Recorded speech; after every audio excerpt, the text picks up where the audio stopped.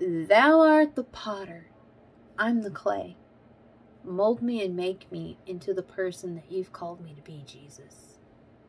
Lead and guide me, light my path, and draw me to you. I want a personal, intimate relationship with Jesus. And let me just let me just tell you something. The Lord says, You can't be lukewarm, for I will spew you out of my mouth. I will say, Depart from me, I never knew you. People will say, Well, Lord, didn't I prophesy in your name? Didn't I speak your Bible? Didn't I know every word in your book? Did you know Jesus? Did Jesus know you? Did you make an attempt to have a relationship with him? Did you did you? Or did you just think that going to church and knowing his word and then telling people about his word was going to get you into heaven without actually having a relationship with Jesus cuz let me tell you something. It says that Jesus tore the veil when he was raptured. There was an earthquake and it tore the veil. It's a picture of Jesus tearing down the barrier so that we can become that way we can come boldly boldly to the throne room of Jesus. If we need something, if we are lost and confused,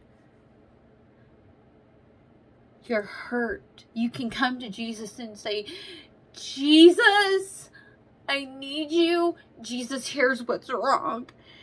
Jesus, I need you. You're you're not only coming boldly to him, but you're coming with a humble heart who loves Jesus and wants to have that relationship. And this is one thing I ask, ask Jesus every day. Grow my relationship with you. I want to be closer to you. I want to know you more. The closer you get to Jesus, the more your life changes. You don't have to know the, the word of God word for word. You don't have to you don't have to know everything. You just need to know the love of the Lord, and the Lord will reveal himself to you and put on your heart what needs to be known the most.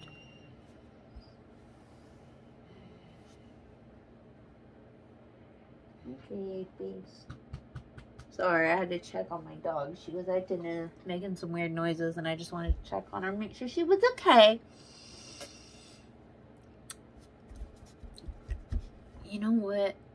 There's a reason why God is called our Heavenly Father. Because He, and there's a reason why He wants us to be childlike. Because He's our Heavenly Father.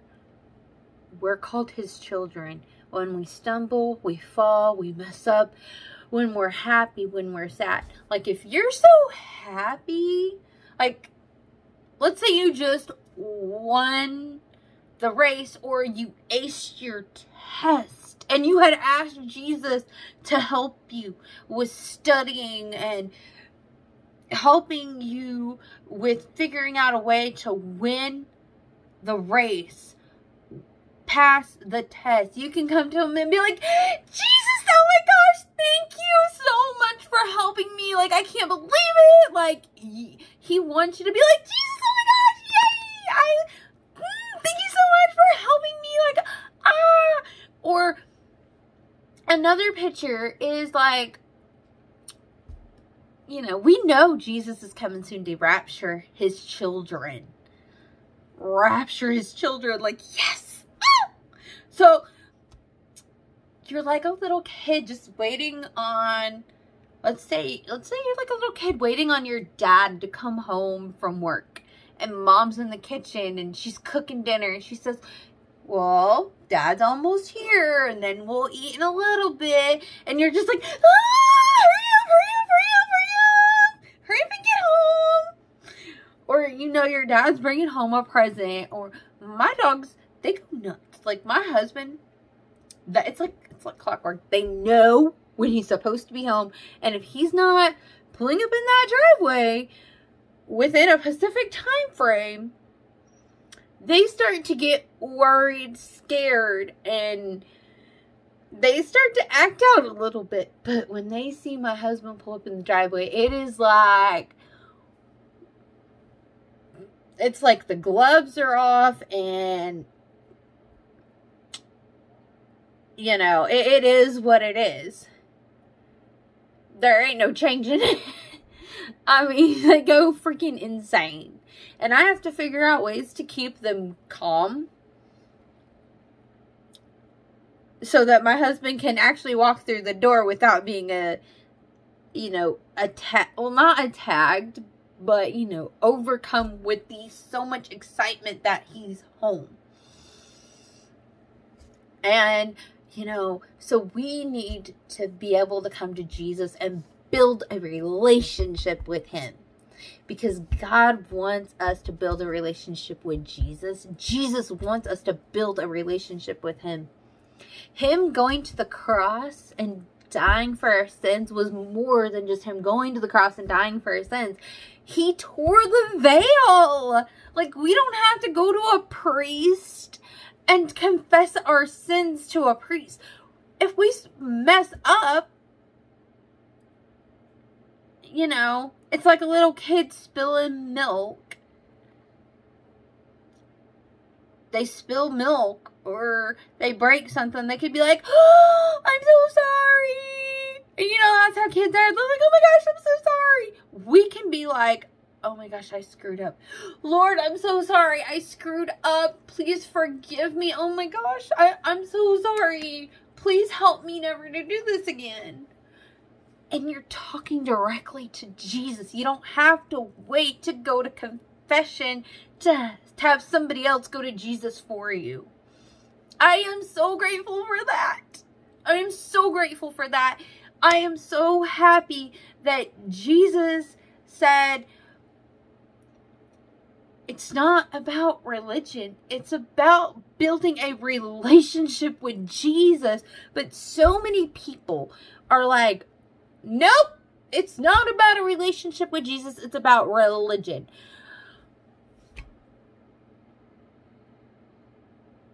the Lord help me not strangle these people today that want to make Jesus about religion instead of relationship because relationship is key. Relationship. God and Jesus are begging for relationship. That is what they want from you is a personal relationship. And if you develop the relationship everything else falls into place. I'm telling you, the more you build a relationship with Jesus, the easier it gets. The easier overcoming certain situations become because because you're not trying to do it on your own. You're going to Jesus and you'll you and Jesus are working it out together for your good and his honor, praise, and glory.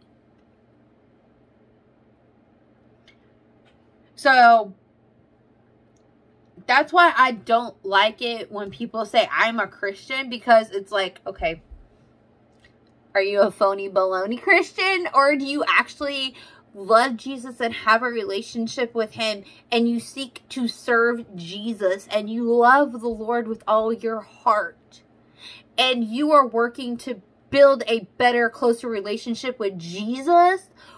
Or are you just saying you're a Christian but yet you want to live by religion? Like what what kind of Christian are you? I mean, people use it so vaguely. And I hate I hate that when the best, I feel like the best statement in the world that anybody could possibly make is, I am a child of God and Jesus went to the cross at Calvary and he shed that blood and bore all my sins, past, present, and future. Saying you belong to Jesus. How bold is that? that you can literally say, I'm a child of God. He came from heaven to earth. He died on that cross, shed that precious blood, and I belong to him and he belongs to me because I built a relationship with him. Relationship, relationship with Jesus. I feel like this needed to be addressed, and I feel like I addressed it pretty good. A lot of people may say, oh no, it's still all about religion. That's on you. I'd rather have a relationship with my Lord and Savior and, you know, building a relationship with Jesus. I feel like I respect him, I honor, and I feel like I can do all things through Christ who gives me the strength. I feel like I am being led and guided to have a more deeper understanding and I feel like I am becoming a better person because I started with relationship and not religion. Get rid of the religion, start with relationship, and you will just see doors going wide open and you will just see the flood of Jesus just working in your life. And you'll see that your heart and everything will line up and change to the will that Jesus wants in your life. Like, all right, guys, I'm going to get off here. You guys have a great day. Bye, y'all.